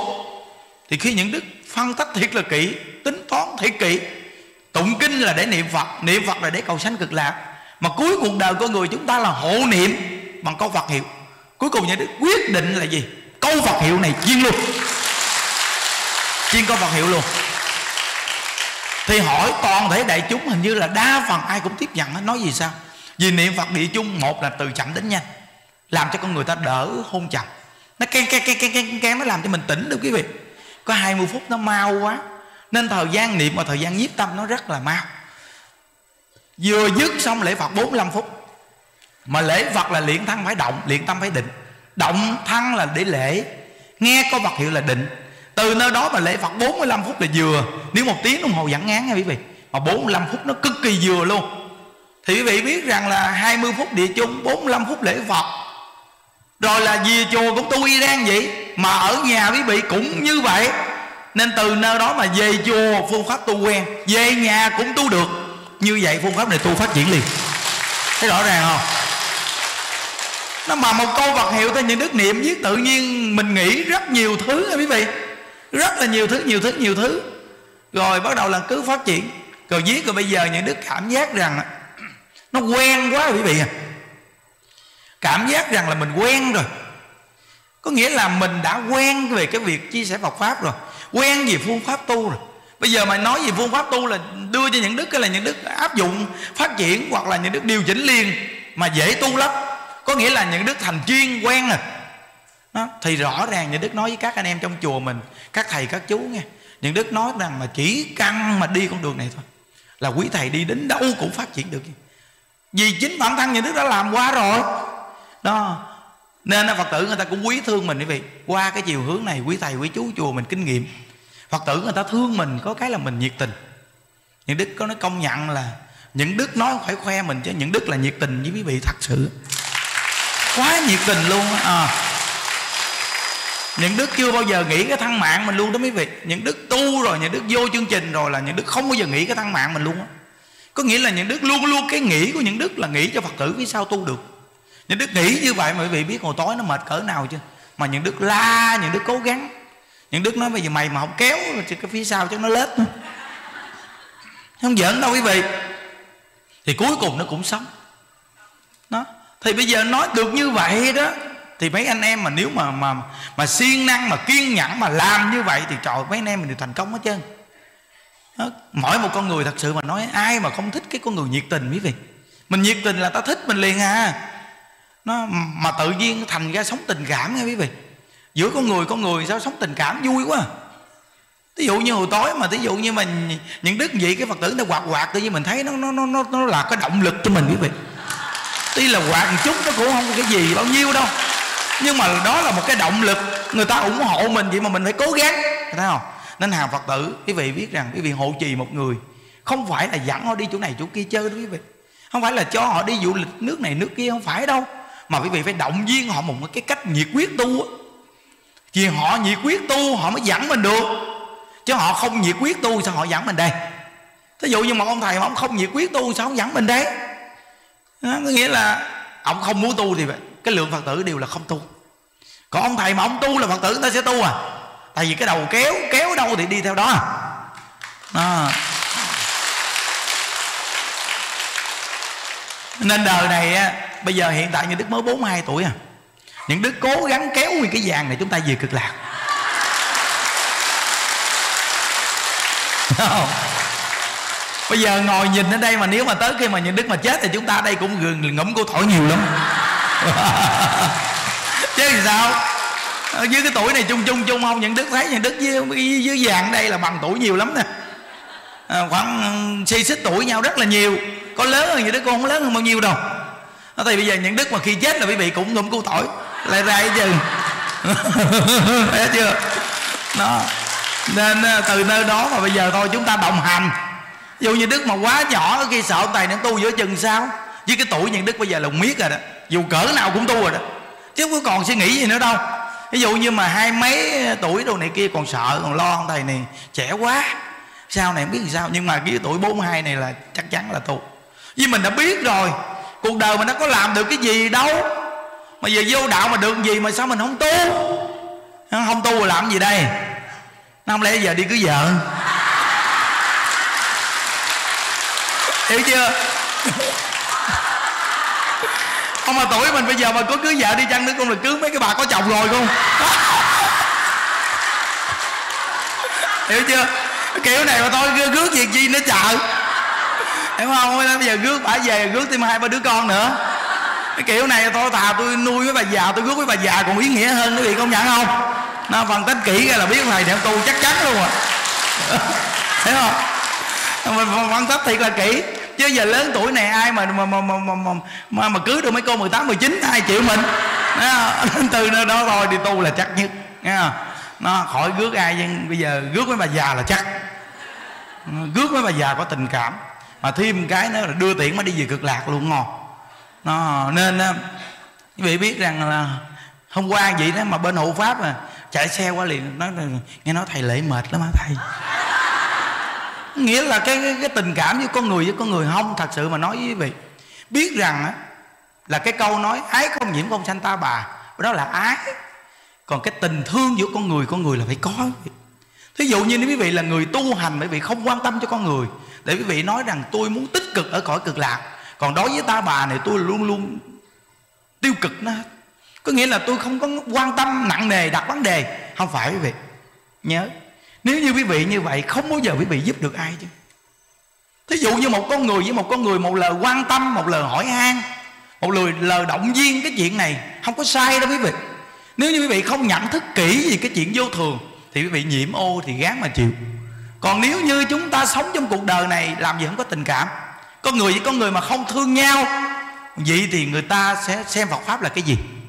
Nếu như con người học Phật mà nói là buông xả buông xả là là là gọi là không dính mắc cái gì hết chứ, đá đổ hết. Cái này là cái cái không hiểu. Cái câu buông xả nhà Phật không phải như vậy.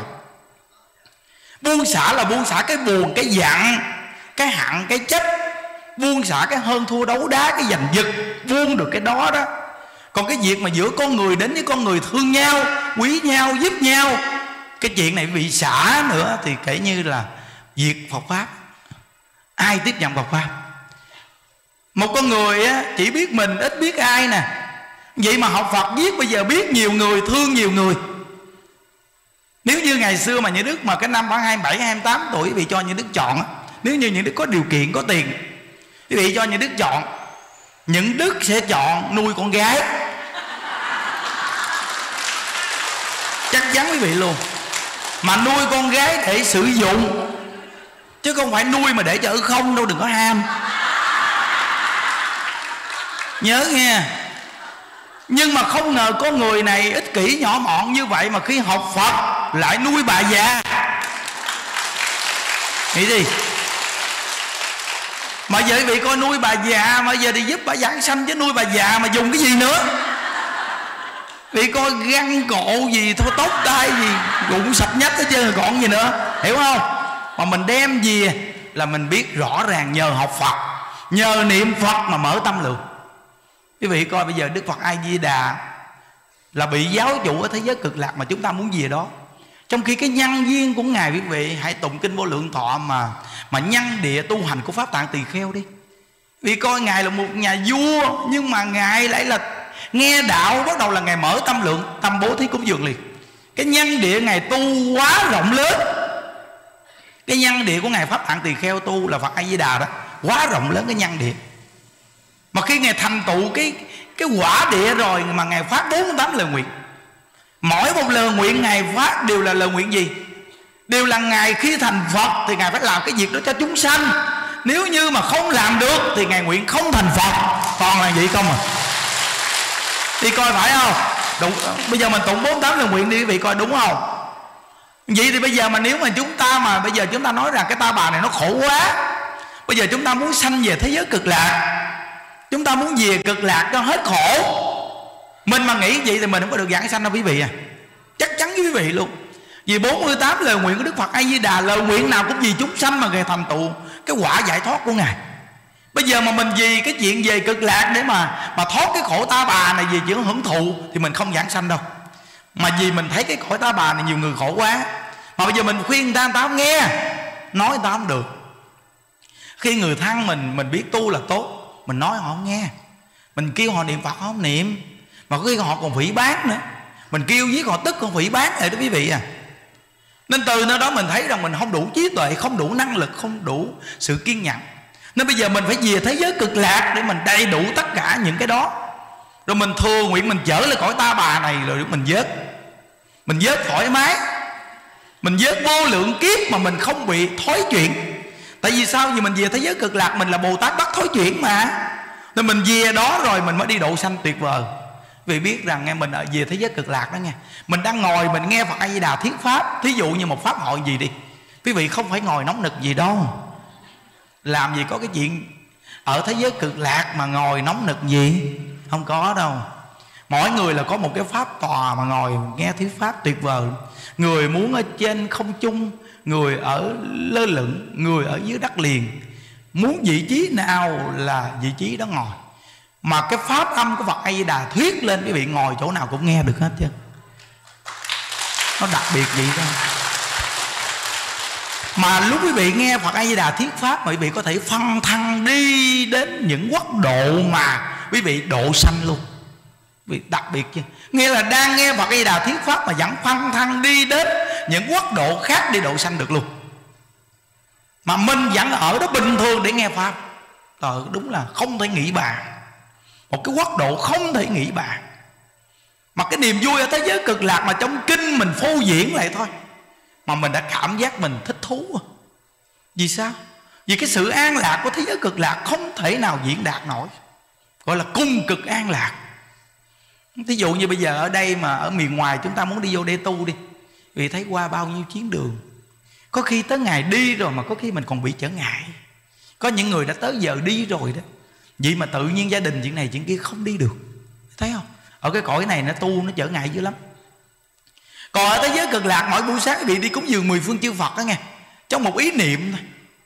Như một cái búng móng tay gì thôi là mình đã đi rồi. Mà mình đến mình gặp trực tiếp Đức Phật Thích Ca Mâu Ni luôn. Mình đến mình cúng dường cho Ngài và Ngài thiết bài Pháp cho mình nghe. Rồi quý vị muốn đi xuống cõi trời cũng được, quý vị muốn đi xuống dưới địa ngục cũng được muốn đi xuống dưới địa ngục cũng được. Địa ngục thì người ta khổ đau, mà mình mà người ở thế giới cực lạc mà đi xuống địa ngục là tức khắc cái cảnh giới địa ngục lúc đó dừng khổ liền. Người ở thế giới cực lạc mà đến một cái là là địa ngục dừng khổ lúc đó liền. Quý vị nghĩ cỡ nào chưa? Bởi vì mình phải về cực lạc. Mình muốn độ sanh rộng là phải về cực lạc. Ở đây nói khô cuốn họng vậy đó. Người ta nghe nghe vậy nhưng mà có khi về nhà nó thầy không nói nói vậy thôi. Chứ không giỡn đâu quý vị đâu phải ai cũng là người hành trì hết đâu dạng, hiểu không? Nhưng mà mình cũng phải kiên nhẫn. Với cái nhân viên này mình đã kết rồi nên quý vị biết rằng quý vị ngồi trong cái pháp hội này nó thù thắng lắm. Vì sao biết không? Vì trong cái pháp hội này sau này sẽ có nhiều người giảng sanh về cực lạc. Đó.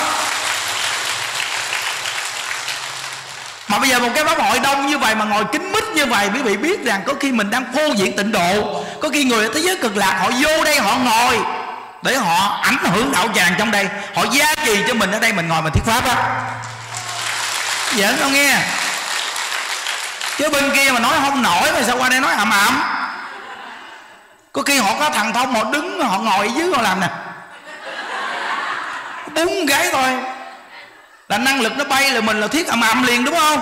Có đủ năng lực mà. Rồi họ vô họ lại quan âm bồ tát luôn. Vô cùng lại trong đó luôn nó nghe mấy ông này nói dữ quá. Nay cho khỏi có gió luôn cho biết.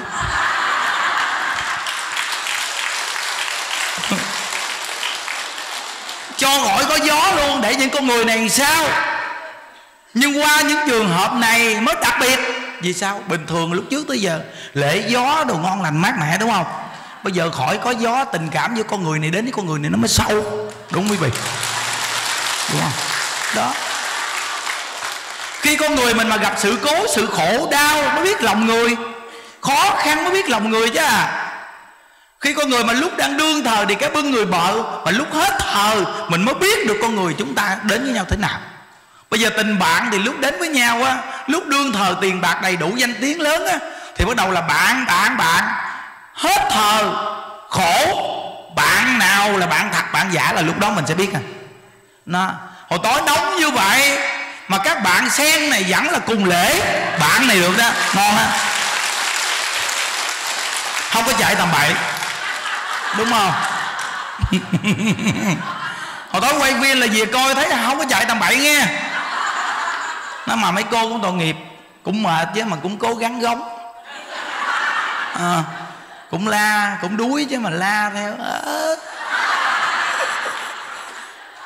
lúc dương mà mát thì quan thế âm bồ tát, ngon lắm. Bây giờ à, ông mà thấy tội nghiệp ghê trời. Bây giờ người ta đến với mình nhiệt tình vậy, không lẽ mình sao? Mình phải cố gắng. Thí dụ như bây giờ lỡ mình té cái rầm xuống, ginh mình đi đâu, ginh đi cái chuyện này mình không biết rồi, đúng không? Nhưng mà mình còn khả năng biết được là mình làm tới liền, không nói giỡn đâu. Nhưng mà cái sự kiên nhẫn là được nha quý vị bởi bác hồ ngày nói một câu hay. Không có chuyện gì khó chỉ sợ lòng không bền. Đào núi và lấp biển quyết chí ắt làm nên. Đúng không? Khi mà những đức vừa phát tâm mà lễ hai ngàn lại bồ tát quán thế âm rất nhiều người gặp những đức nói không nổi đâu. Đừng có tổ chức bậy bạ nó bể xô mắc cỡ chết. À, nhiều gặp những đức là nói là đừng có phát tâm như vậy bể xô là là là quê chết. À, họ nói vậy đó quý vị nhưng đức nói, bể thì bể chứ, bể cái sâu này mua sâu khác. À.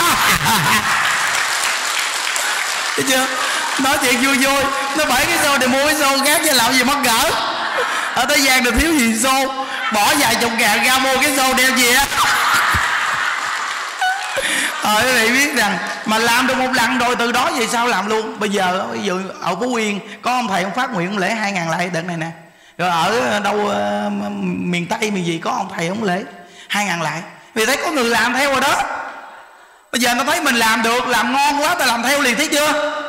Nó mai mốt rồi quý vị coi á có nhiều người lại theo nè. Nó. Lúc mà nhiều người lại theo lúc đó mình nghĩ đúng không quý vị? Nghĩ thì biết sao không? Nghĩ là khôn. Nhiều người lại theo mình nghĩ mình mới khôn. Biết sao để cho người ta phát triển lên. Còn mình thì mình hạ cánh xuống, mình đã thành công rồi. Hiểu chưa? Đó. Còn nếu như bây giờ mình lên hoài, biết đâu mình rớt sao? Hai ngàn lại được ngon là bây giờ mình lên hai, ba ngàn là có chừng á. Thấy không? Lễ giữa chừng mà tự nhiên đứng lên. Phật tử ở dưới đứng đó ủa? Sao ông thầy đức sao ông la mà sao không nghe tiếng gì chứ người chậm? Hiểu không? Nguy hiểm quý vị. Nên từ nơi đó thôi mình làm tới hai ngàn này là dữ lắm rồi. Cứ cứ làm đi. Rồi sau này nhiều người mà ta phát tâm ta làm đó thì mình để cho người ta làm. Để cho phật tử người ta về đó người ta lại đi. Thật sự mà nói trong cái cuộc đời này quý vị ơi. Trong cái cuộc đời này.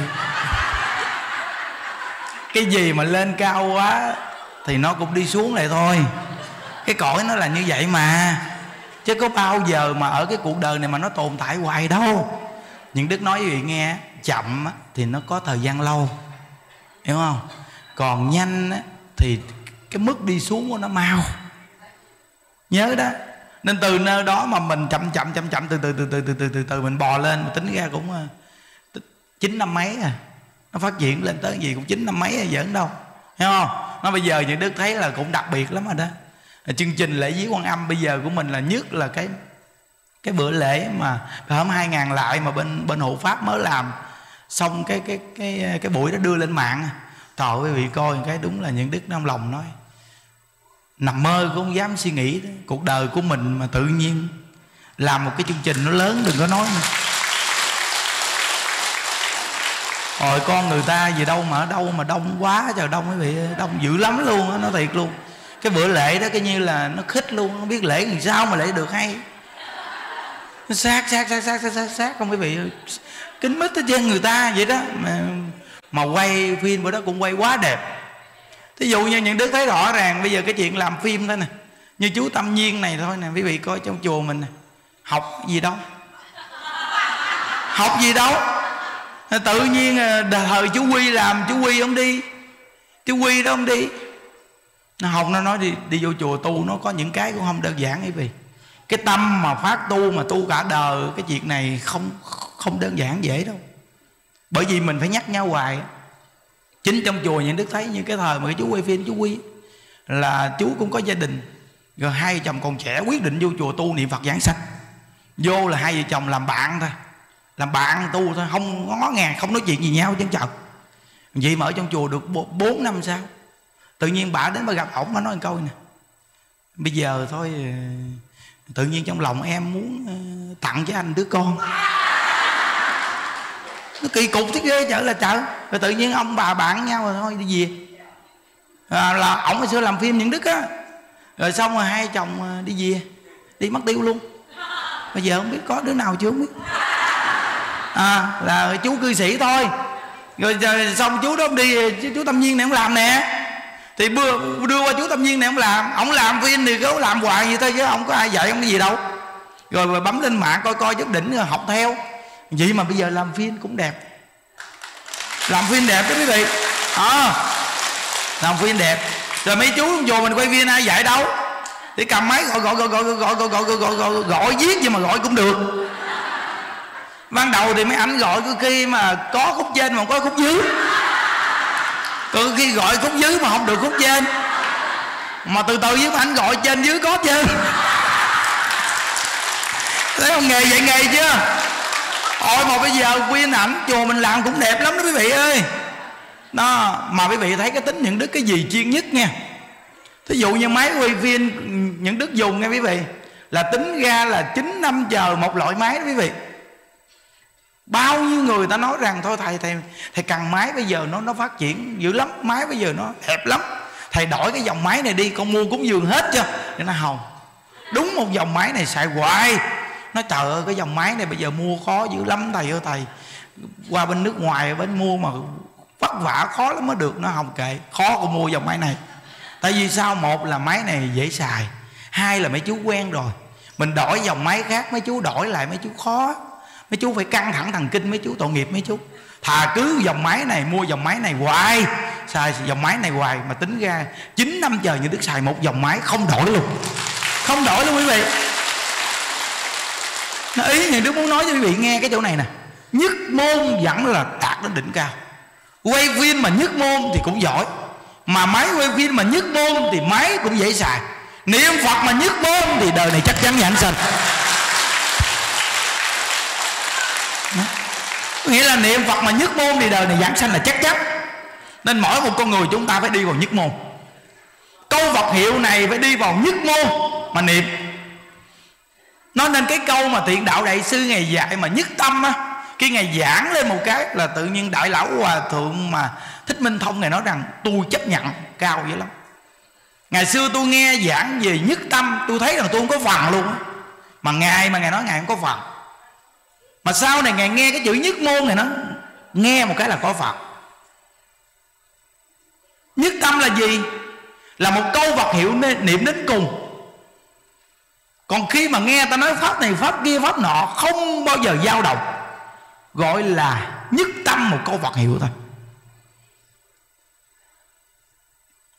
Thì mỗi một con người chúng ta cũng nên tập là câu vật hiệu này nên tập, một câu vật hiệu này niệm cho tới cùng nên cái đề học chúng ta là gầy dựng đó quý vị. Nó nên mỗi một người chúng ta bây giờ kết cái nhân viên này thôi chúng ta cùng phát nguyện hẹn gặp nhau ở cực lạc hết nha. Ai với đầu vào? À. à, chúng ta hồi hướng quý vị. Nguyện à, đem à, công à,